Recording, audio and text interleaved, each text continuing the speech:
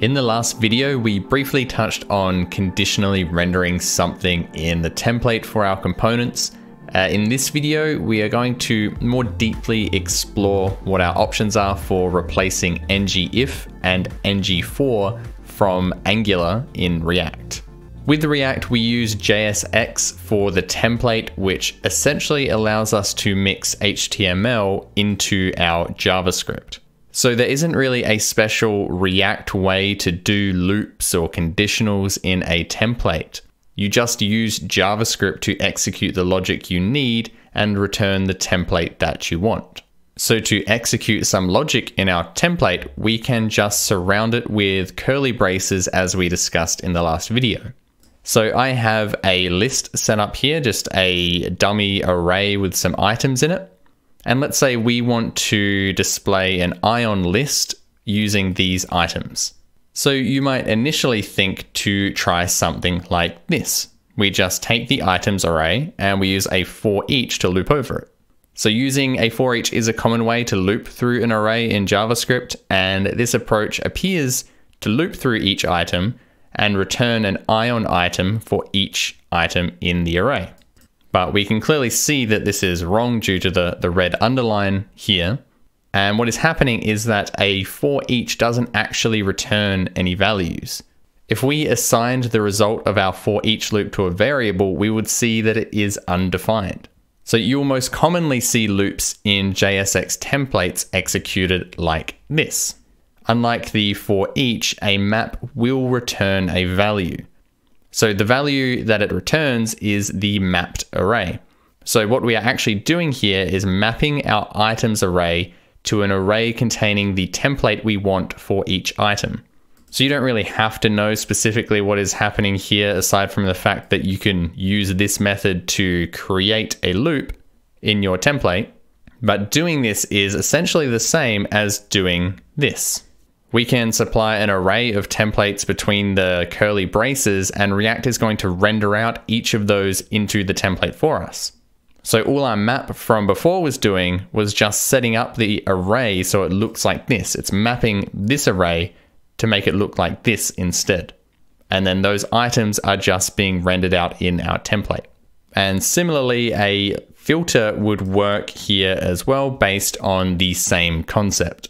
Now only items with more than three letters will be included in the array, and then that array is mapped so that each value is wrapped in an ion item.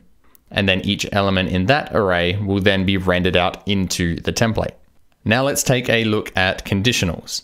So there are a few ways we can approach this. So again, I'm going to start with what might seem the most obvious, and then we will look at what is typically done. So if we want to conditionally display something in our template, and we're trying to use JavaScript to accomplish that, then the first thing you might think of is an if-else statement. But adding an if-else statement directly to your template will not work. Again, we can see that we have some syntax errors here. So we need to use expressions in our template. And so an expression is a chunk of code that can be evaluated to a value. So just like the map that we used before, that is an expression that will be evaluated to our mapped array. And the chunk of code that we have here is not something that will evaluate to a single value. Now, technically, you can do this if you use an, an immediately invoked function expression or IIFE. So if we instead set up our if else like this, it will actually work. So an immediately invoked function expression, as the name suggests, is a function that is invoked as soon as it is defined. So you can see here we have a function set up that runs this code. And this extra syntax we're using here is what actually makes it an IIFE and will cause it to be invoked immediately. So unlike adding our if else logic directly to the template, this is like calling a function that will just return whatever template we want. And this is an expression as the entire chunk of code is going to evaluate to a single value, which is either going to be this first paragraph tag or the second one. However, I don't typically see people using IIFEs like this. I certainly don't uh, do conditionals in my React templates like this. What is a more typical way of achieving this is to actually create a function outside of the template to perform the logic. So we might create a function up here called my conditional, which is the exact same if else statement.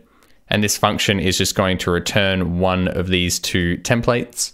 And then all we have to do in our ion content is call that function. So again, between curly braces, we can just call my conditional and that is going to invoke this function and render out whatever template uh, results from that. So this is basically the same idea as the IIFE, it's just a more common way to go about it. Now, another common way to perform conditionals in our templates is to use a ternary operator. So again, this is like an if-else statement, but it's actually an expression that's going to evaluate to a single value. So what we can do is use something like this, and you may have seen this syntax before where we have our whatever our condition is, then we have the question mark, then we have what we want to return if that is true, and then we have a colon and what we want to return if it is false. So this is a rather neat way to return one template or another based on some uh, simple condition. However, often you just want to render something or you don't. You might not necessarily have two different templates depending on the condition. So in that case, you can use the short circuit method. And the basic idea here is that we can get rid of the, the false option there, and we can replace our question mark with two ampersands. So just some condition and and, and then the template that we want to return from that. And now another important thing to mention here is that when you're doing something like this, you can only return a single node. So if I wanted to return two paragraph tags, for example, that isn't going to work. So there are a couple of different approaches you can take to this. Uh, we could surround this with say a div. And so now that is just a single node that has two more nodes in it and that's fine. Uh, we might not want to add an additional element like this, so we could also just use a fragment. So this sort of allows us to return just a single node, but it is only these paragraph tags that are actually going to be rendered out to the DOM. You can also return an array of values, which is similar to what we were doing with the map from before. So we could just add our two templates like that. So our two nodes are going to be returned from this uh, condition now. But personally, most of the time I just use uh, either, well, I just return one node to begin with, or if I do need to wrap it, I do need to return multiple nodes, I'll just wrap it in the fragment and just return that instead. So this is React, and as I keep mentioning, there isn't really a prescribed way to do everything. There are generally best practices and approaches that get adopted by the community, which is what I'm trying to highlight in these videos, but there are many ways to go about achieving the same thing.